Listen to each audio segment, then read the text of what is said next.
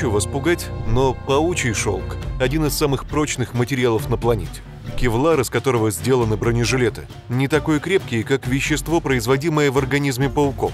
В это сложно поверить, ведь если прикоснуться к паутине, она тут же порвется. Все потому, что пауки выделяют очень тонкую нить. Нить из большинства металлов такой толщины тоже бы легко порвалась. Хорошие новости. На планете нет огромных пауков, а значит вы не угодите в их ловушку. Плохие новости, если тысяча пауков со своим прочнейшим шелком решат объединиться и сплести одну паутину, у вас будут проблемы. Ха-ха. Самый прочный шелк производит паук-кругопряд Дарвина. Его паутина в два раза крепче, чем у других видов. Этот паук мельче, чем большинство сородичей, что не мешает ему быть одним из самых грозных хищников в мире. Площадь его паутины приближается к трем квадратным метрам. И эта сеть подвешена над реками на невероятно длинных нитях.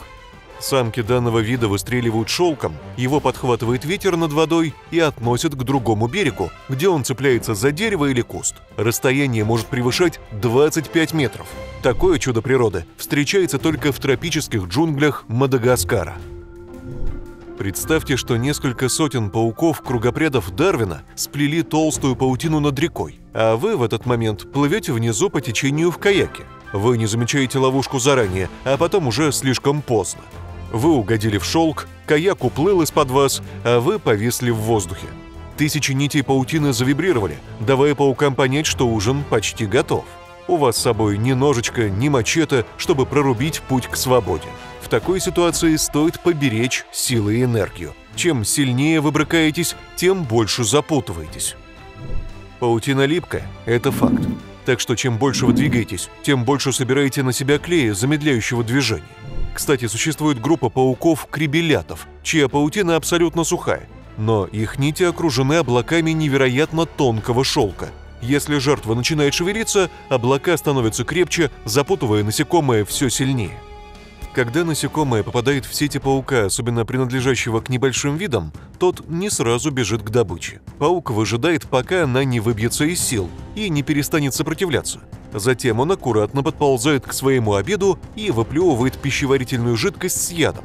Это означает, что процесс пищеварения начинается не внутри, а снаружи организма паука. Потом охотник заворачивает тело насекомого в шелк, формируя кокон, в котором переваривается жертва а уже после этого он выпивает пищеварительную жидкость вместе с едой. Весь процесс может повториться несколько раз. Вернемся к вам. Вы все еще висите в паутине.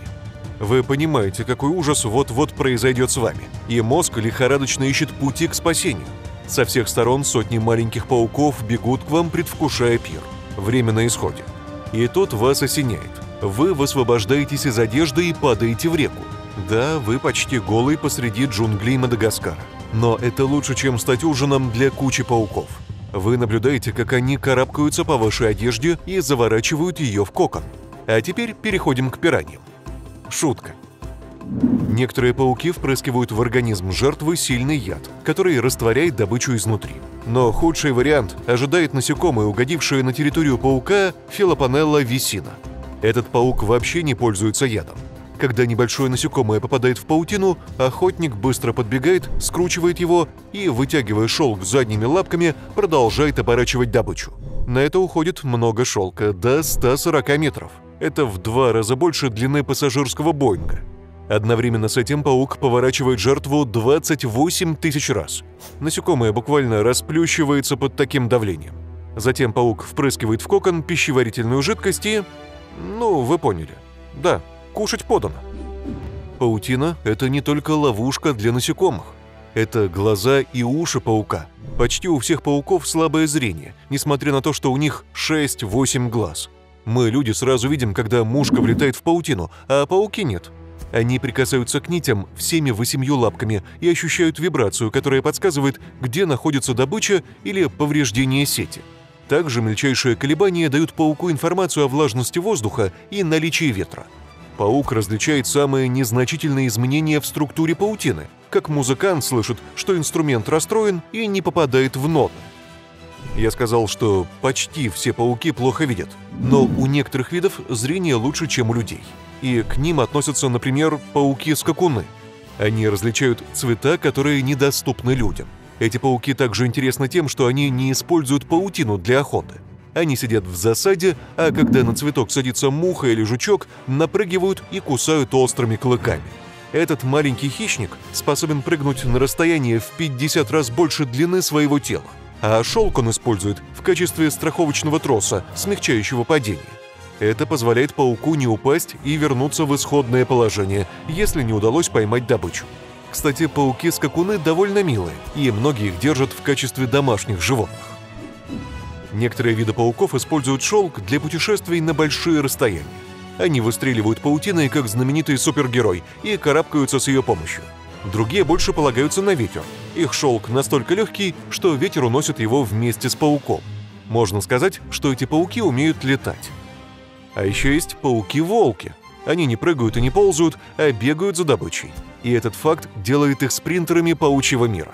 В отличие от пауков-скакунов, пауки-волки большие и страшные. Когда они догоняют жертву, то впрыскивают в ее организм яд. Такие пауки приспосабливаются к любым условиям, будь то холодные горные вершины, жаркие пустыни или влажные тропические леса. А тем, кто боится и ненавидит пауков, стоит вспомнить, что эти создания контролируют популяцию насекомых. Если бы не пауки, насекомых стало бы настолько много, что все сельскохозяйственные культуры оказались бы под угрозой. Пшеница, кукуруза, овощи и фрукты исчезли бы с лица земли, что привело бы к глобальному продовольственному кризису. Подумайте об этом в следующий раз, когда захотите прихлопнуть паука тапкой. На нашей планете живет около 45 тысяч известных видов пауков. Некоторые ученые считают, что видов, о которых мы пока не знаем, в два раза больше. Если сегодня вы узнали что-то новое, поставьте лайк этому видео и поделитесь им с друзьями. А вот еще крутые ролики, которые могут вам понравиться. Просто нажмите слева или справа и присоединяйтесь к Эдми.